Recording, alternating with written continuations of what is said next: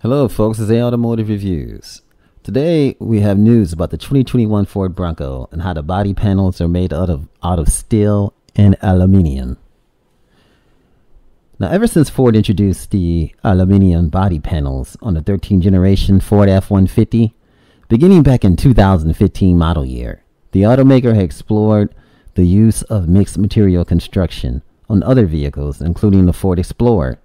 So it's fair to wonder what material exactly make up the panels of the 2021 Ford Bronco. And surpri- unsurprisingly, Ford used a mixture of steel and aluminium in the new off-roader. And quite honestly, it looks quite awesome, folks. I mean, just look at that. I mean, this is where you want to be in your Ford Bronco. Just driving along the mountainside. Just moving along. Now here we have boron steel roll bar. We have a aluminium tailgate. We have aluminium rear fenders. We have steel frame and floor. And we also have aluminium front fenders. And we also have a aluminium hood. And it's just straight up awesome, folks. Straight up awesome. Awesome. Now, a large portion of the body of the 2021 Ford Bronco is made from lightweight aluminium. Now, this includes the hood, the front fenders, the rear fender, the doors, and the tailgates. Now, meanwhile, steel was used to construct the Bronco's frame and floor. The sport tube and the cage are made from boron steel as well. And the aluminum panels, the steel panels, well, we have the uh, frame, the floor, and the sport tube cage, the ultra strength steel, and the boron steel.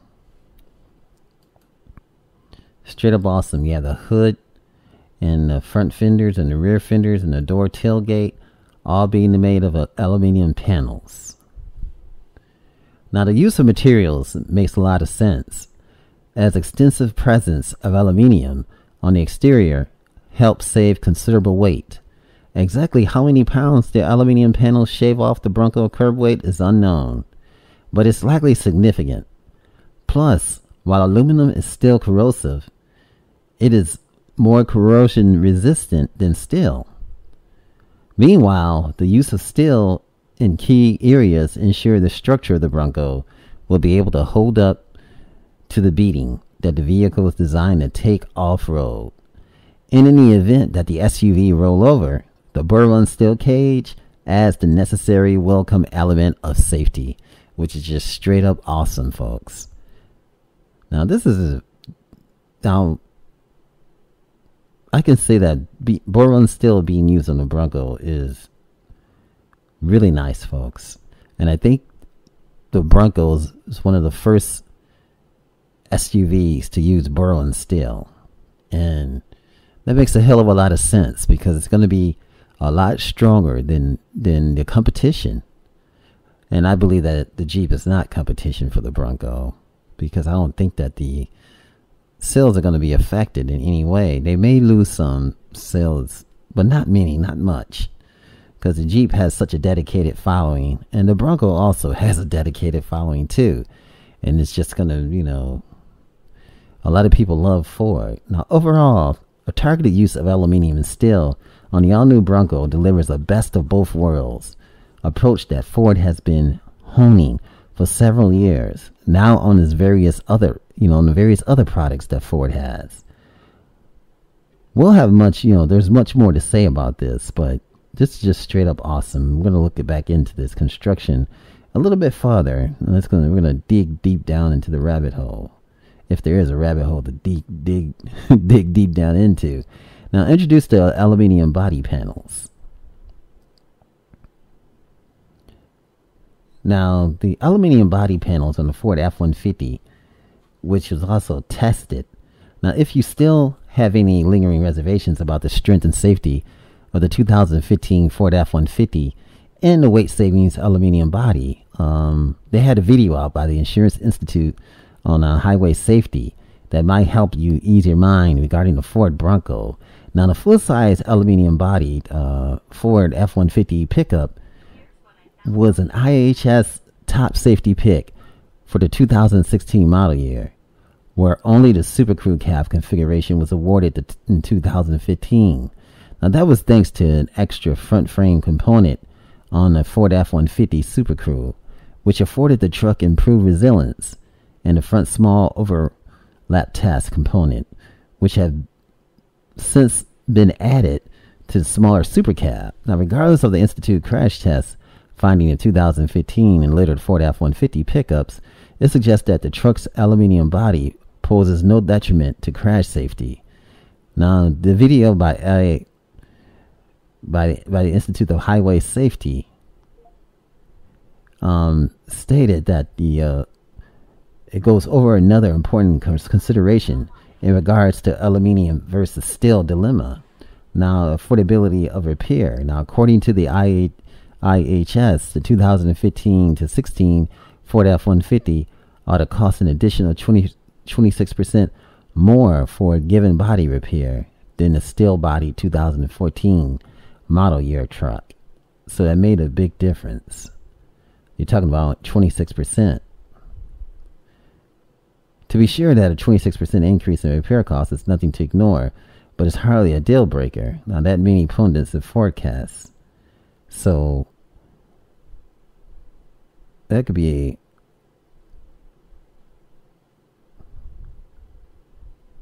Then, you know, I'm just stuck thinking about that and seeing how that can be a positive thing, but affordability of repair and how that's going to affect the Ford Bronco. Just saying that Ford is a used to, um, they're they're using boron steel and using aluminium. They're no, it's not new to them, and this is what's going to make it, you know, to the 2021 Ford Bronco credit, which is just straight up amazing, folks. Weight saving aluminium body, which is definitely definitely nice. You have to save weight in certain instances.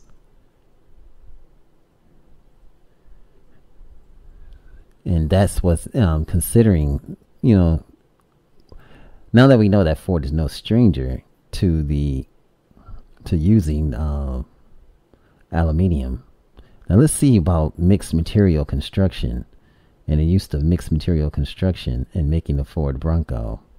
Now let's go back and, but in order to do that, we got to go back and look at some of the Ford other products. Now back in back in 2015, Ford made a bold decision to move the incredibly powerful and popular F-150 truck to an aluminium body to save weight to help the truck perform better in all metrics. Now, since then, it hasn't leaned on aluminium so much in any of its other offerings, including the critical 2020 Explorer SUV. Now, the issue with using lots of aluminium is one of costs. It's a much more expensive material than steel, driving the price of materials up, which in turn drives the price of the vehicle up. So they couldn't make it all out of, you know, you can't make the, the Ford Bronco out of uh, aluminium because it would be cost, it would drive the car up, you know, and cost through the roof. Now, Ford does use aluminum on the 2020 Ford Explorer, but it also uses steel, magnesium, and plastic. Now, Explorer Chief Engineer Bill Gubing says that the weight was a factor in every decision that Ford made in the all-new Explorer, and it's also going to be a weight, and it's going to be a factor in also making the 2021 Ford Bronco. And so, just saying that Ford is no stranger to using um, all aluminum, and you know, you know that they consider using all aluminum, but they also have to keep the price down. You got to keep the price down to thirty thousand dollars for the Ford Bronco, and so they had to make it a mixture, and they did. They they made a great mixture of this, and this is what straight up awesome, folks, and this is what make the this what makes the uh, this is what's going to make the Bronco a hit. Now the new approach to saving weight is a part of the decline in uh, oil prices and the fuel cheaper, and vehicle shoppers less inclined to focus on fuel economy than they may have been in the past. Now the now the move also reflects that the fact that Ford is offering, you know, the Bronco. They're going to have a, you know, they're definitely going to have a Bronco hybrid, and they're definitely going to, you know, that's all going to come out between now and 2025. But you know, back to the, back to um, the decision to stay predominantly with steel is also due to the steel industry coming up with lighter and and stronger steel, which is that boron steel, which is supposed to be the strongest steel. And that's what Ford is using for the 2021 Ford Bronco. And you know the way that they did that mixture is also going to make the Ford Bronco perhaps 20, 200 pounds lighter.